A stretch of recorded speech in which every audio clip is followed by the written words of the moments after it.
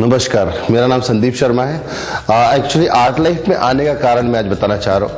और art life में आने का कारण uh, जैसा कि दूसरे लोगों का होता है वैसा ही मेरा भी था हेल्थ की प्रॉब्लम से रिलेटेड बट यहाँ पे हेल्थ की प्रॉब्लम मुझे नहीं थी मेरी मदर को हेल्थ की प्रॉब्लम थी उनको शुगर डायबिटीज़ थी और किसी ने रिकमेंड करा ग्लूकोसिल को। uh, जब हमने उनका ग्लूकोसिल स्टार्ट करा और छह महीने करीब करीब वो कंटिन्यूस लेती रही। उसको और साथ में कुछ और कॉम्बिनेशन भी थे।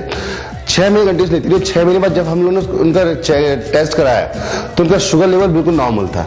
और उसके बाद हमने उनकी एलोपैथिक दवाइयाँ भी बंद कर दी। और उसके बाद आज करीब करीब मुझे चार साल हो गए आर्ट लाइफ में। और चार साल से मेरी मम्मी ने एलोपैथिक दवाई कुछ भी नहीं ली है। सिर्फ़ ग्लूकोसिल टॉक्सवाइडर कॉम्प्लेक्स ऑफ़ एंजाइम प्लस इसीलिए मैंने सोचा कि जब मेरी मदर को इतना अच्छा इतना अच्छा रिज़ल्ट मिल सकता है तो दूसरों को भी अच्छा मिलेगा। और मैंने फिर दूसरे लोगों को रिकमेंड करना चालू करा और आ, मुझे लगा कि बहुत अच्छा काम भी है कि लोगों की हेल्प करना उनका हेल्थ को सुधारना और अपना बिज़नेस को खड़ा करना आगे बढ़ना।